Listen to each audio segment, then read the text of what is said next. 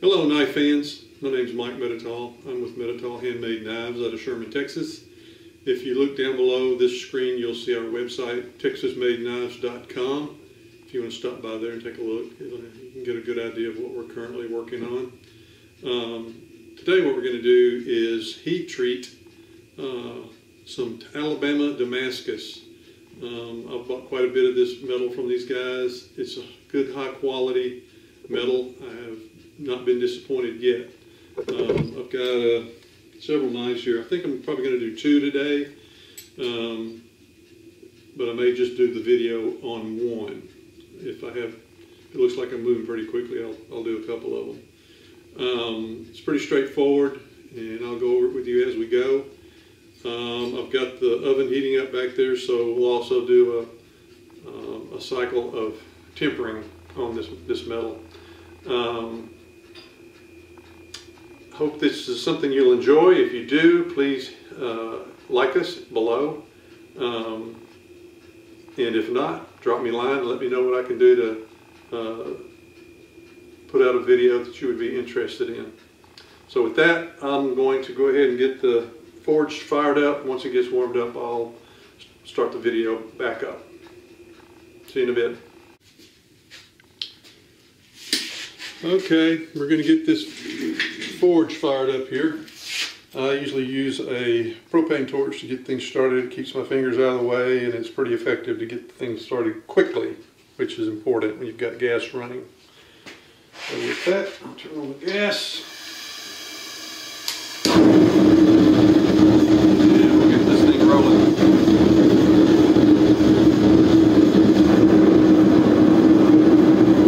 I have two burners in there. I'm going to run it both burners just to get the forge good and hot. And then I'll uh, just switch to one torch, one burner, so we don't overheat the blade.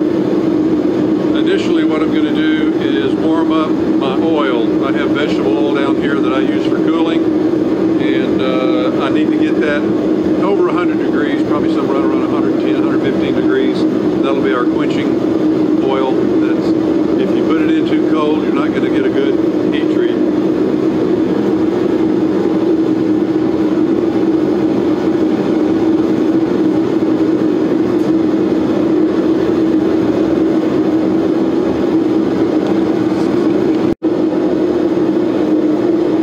Okay, um, what I'm going to do next is once this forge gets heated up, I'm going to take this knife blanket, heat it to red hot, and put it down into my my oil quench. Um, it's a little bit cold right now. It's about 60 degrees outside, so I'm going to warm this oil up to around 110, 115 degrees, and that'll be a good temperature for us to quench our Damascus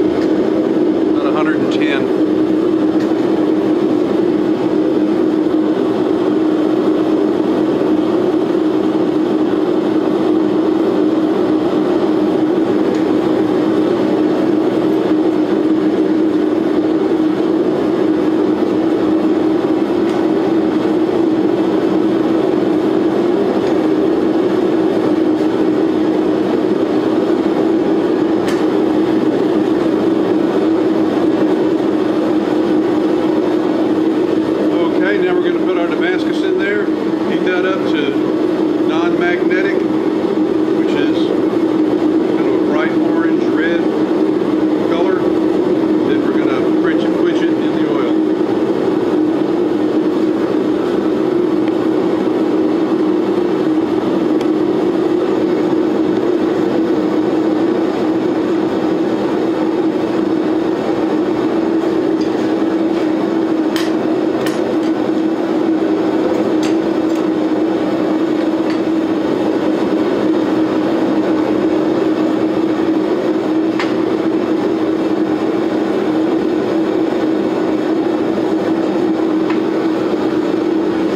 You want to keep it moving in there. You want it to be evenly heated so that you're not going to get any warpage when you go to this quench.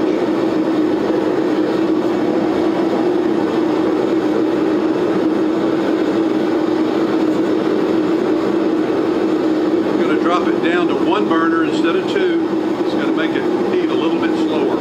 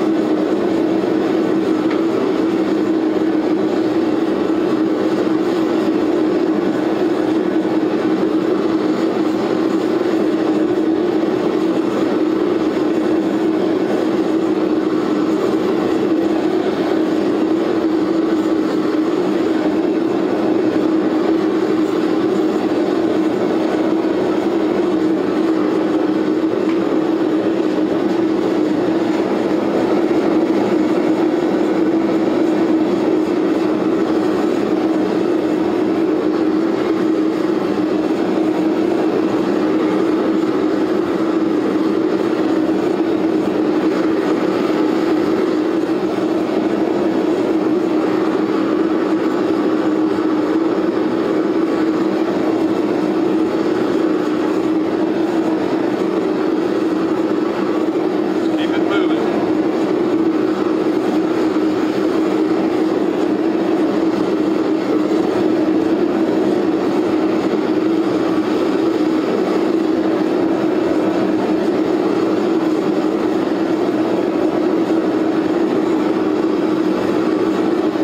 It's ready to quench. Go straight into the oil. Okay, we've got the knife up to temperature now. We're just going to place it in the oil, straight in, straight out. In, and out. In, and out. In. It's just straight up and down, and you'll you'll have less chance of getting a warpage if you'll just take your time and quench it slow, quench it as fast as you can, but moving it slowly in and out.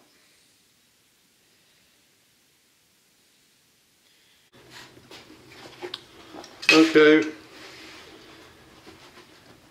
Once I got the fire off and uh, got the oil off of the blades, I have clamped both of these knives that we just uh, quenched. I clamped into a straight piece of mild steel. And that is to keep them from warping during the tempering process. All you do is just lay, lay your knife on the flat piece of steel, clamp it down in a couple places, and that should keep it from warping. When I looked down this blade a, little, a few minutes ago, I saw that it had a kind of a, a, a curve or a warp to the left. So I laid that side down that was warped and clamped it out straight. So when this heat uh, goes through the tempering process in our oven, it should take that warp out of there. So with that, let's go to the oven.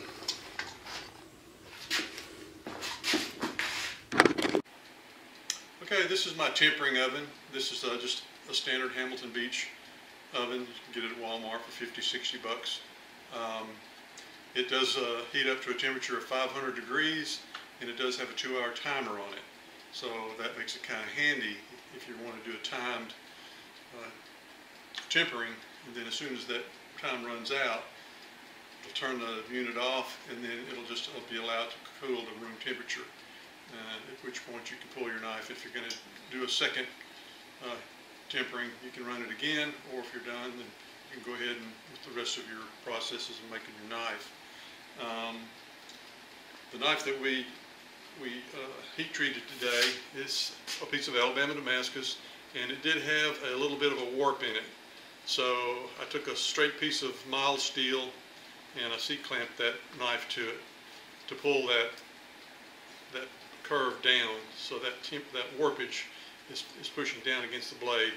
Generally speaking, when you put this in your for your uh, tempering, it'll take that warp out if you have it clamped down like this on a flat piece of metal. So with that, I'm going to put it in the oven.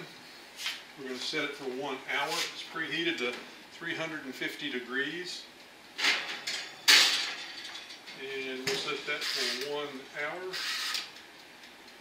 And once that runs, um, like I said before, it'll, it'll shut off and then once it returns room temperature, we'll go to the next step.